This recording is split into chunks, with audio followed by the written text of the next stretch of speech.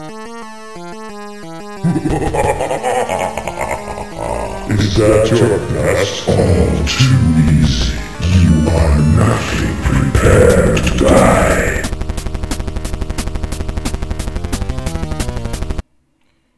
E aí galera, beleza? Aqui te falar um Omega Rio Blaze trazendo mais um vídeo para o canal dessa vez. É um vídeo de um jogo bastante conhecido já, né? Que é o Metro Redux, que traz dois jogos em um só. Sendo que vamos falar dele aí. É o Metro 2033 e Last Light. Então eu tô com ele aqui para PS4.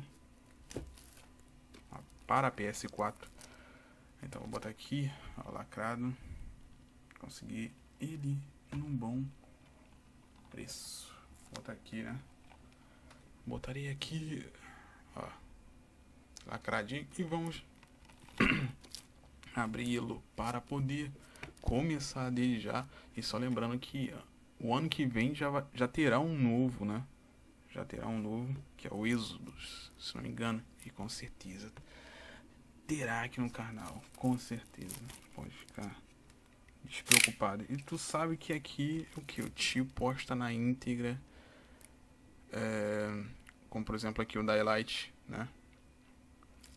Daylight todo mundo sabe que é uma campanha muito grande para poder fazer um detonado.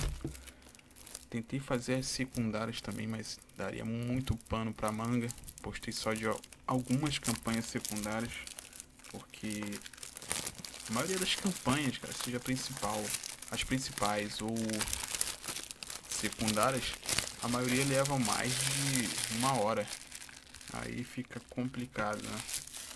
Mas eu prometo aí que ao longo do tempo postarei alguma coisa ou outra, jogarei, fazer uma transmissão de uma secundária também é uma ótima ideia. Então vamos lá. Estamos aqui. Maior beneficiado pelo novo motor gráfico é Metro 2033 por ser mais antigo, né? É de 2010. Lançado já no ano de 2010. E embora o game ainda possa ser considerado belo, especialmente no PC, que eu já conferi também, o trabalho foi feito pelos desenvolvedores, conseguiu trazer a ele um novo nível de qualidade, o que deve ajudar a justificar o retorno daqueles que já sabem e já conferiram a versão original, assim como eu conferi. Como eu falei ainda agora aqui, é, faltou pouco de. Tive um problema. Esse aqui foi o, o alerta do, do vídeo que eu estou renderizando com o Format Fact. Não sei se vai sair na tela, mas se sair, me desculpe, beleza? E vamos lá. Além de adotar modelos de personagens com uma qualidade maior de detalhes, o game ganha em texturas em alta resolução que permite apreciar melhor a direção de arte da 4A Games. Eu vou aqui para o Metro 2033, também ganhou algumas atualizações em suas mecânicas de jogo, adotando um sistema de controles idêntico àquele visto na sequência Last Light. Outro ponto que mostra a dedicação dos desenvolvedores a realmente fazer o trabalho de qualidades são as cenas de corte do jogo, que agora são reproduzidas exclusivamente em primeira pessoa, com direito a diversos momentos interativos. Então, simbora jogar. Então, zero bala aqui. Deixa eu botar só. Zero bala. Deixa eu abrir. Acho que já tava. Tá aberto. Ah, já estava.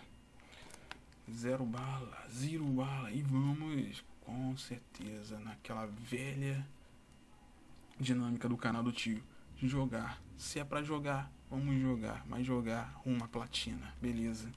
Então tá aqui. Zero. Zero bala. Confere aí. Que vamos jogar junto. Beleza? Forte abraço aí. Tudo de bom sempre. Valeu. Fui.